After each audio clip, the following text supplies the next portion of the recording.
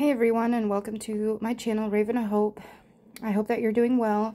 Thank you so much for watching, subscribing, commenting, and sharing. I'm going to be pulling some cards for December of 2024. I am using the Crow Tarot. This is going to be a general reading for the collective so let's go ahead and see what we got. Again, I'm calling on my guides, your guides, and all beings of light to assist me with this reading. And that everyone watching this gets a clear and accurate message for them. Oops, sorry guys.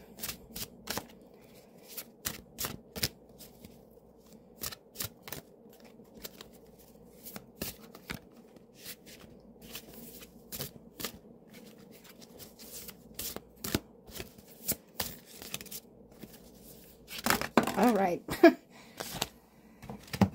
so, this was the second. This was the first. Thought I heard something behind me. And this is the third. So, a lot of us are really going through a lot of battles that we're not talking about or maybe we have been talking about way too much. There's a lot of mixed energies here. And I feel like this, a lot of it is going on in the mind and the heart. I feel like a lot of us is deciding if we're ready to step into peace or we still want to fight to try to create peace. It, it's an interesting thing because I feel like some of us are dealing with situations that we didn't deserve. But we're still trying to decide, am I going to make peace out of this? Or am I going to use this as a righteous anger and move on and make better for myself? So this card is the one that is kind of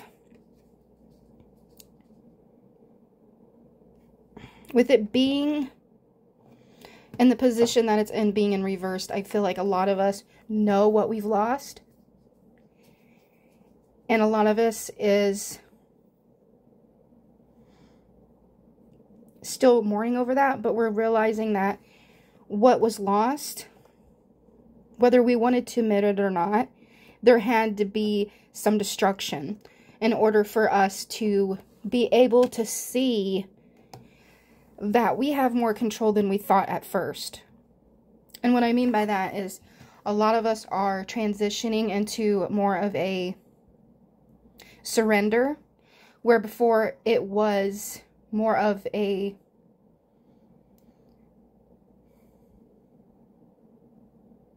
I want to say chained, and I also want to say delusion. But I don't want to say delusion as in we weren't grounded in reality. That's not the case at all. I honestly feel like we have put like a filter over our our life because we're so maybe easily disappointed or we're carrying disappointment. And this is really calling you to step into more of a higher level of consciousness and seeing as every situation as a win in its own way. And even when we lose, we see that there's value in that. We don't see it as rejection or as a way to be down on ourselves. It's more of a way to be able to see what are we going to surround ourselves with. And a lot of it has to do with mindset because all these are swords. Every single one of them. Um, I'm going to pull a couple more, at least two more, just to see what else we're looking at. Okay, there's one.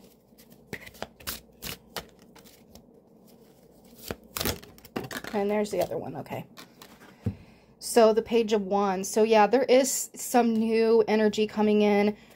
I don't want to say too fast paced, but it's more of like you don't have time to procrastinate no longer. Um, and you're seeing how valuable time is.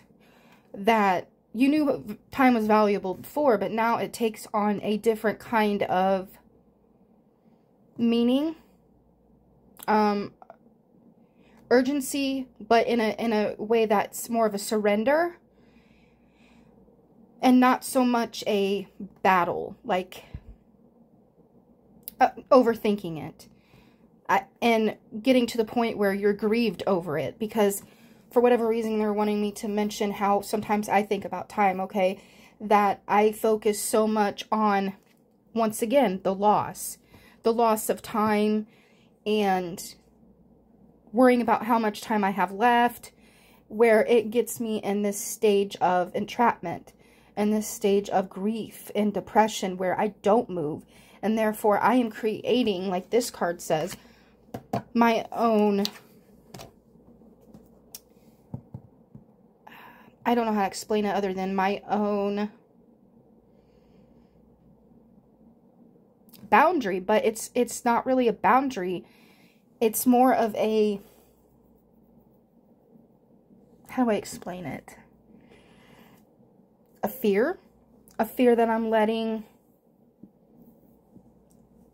an unhealthy coping skill that I have been using for my fear. If that makes sense.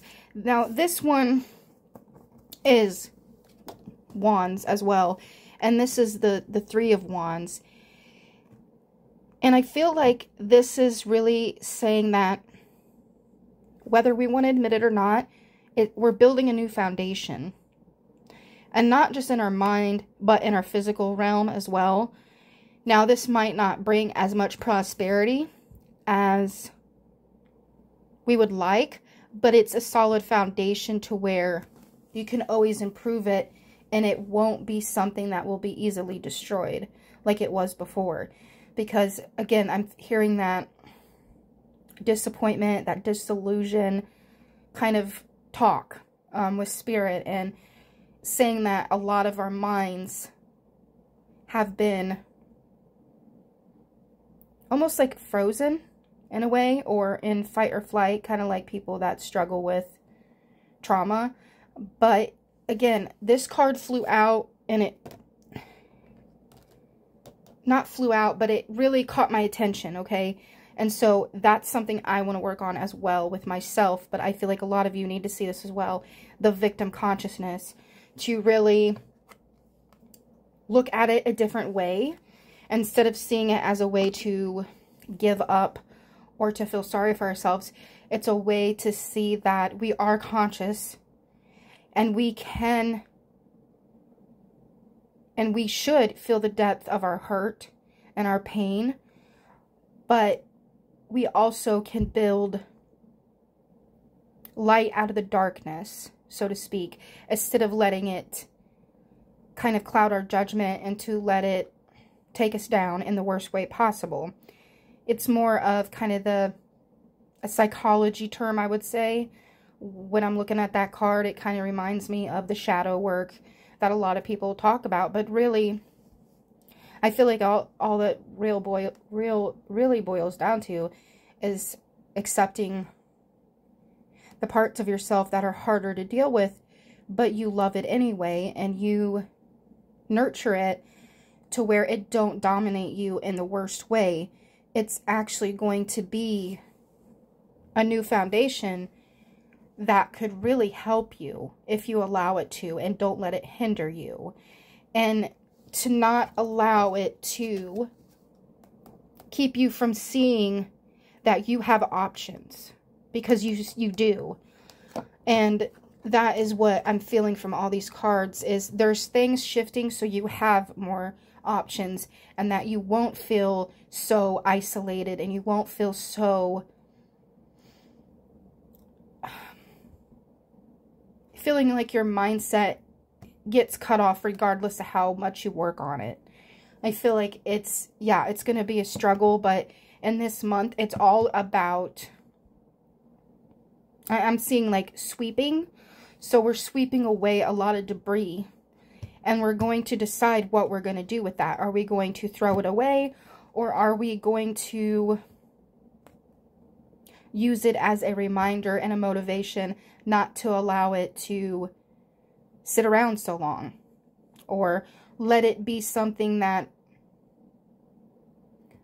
we use as a focus point to where we're numb to everything else around us, if that makes sense. But if you guys have any comments or questions, leave them down below. Please like, share, and subscribe. And if you guys want to, I can do a giveaway once I hit so many subscribers. Um, give me a suggestion on what you think is fair for a giveaway when it comes to subscribers and also what you would like for me to give away. Would it be a reading, a healing, um, a card deck, a, a crystal, my tea lights I make? You just let me know, okay? Have a blessed day.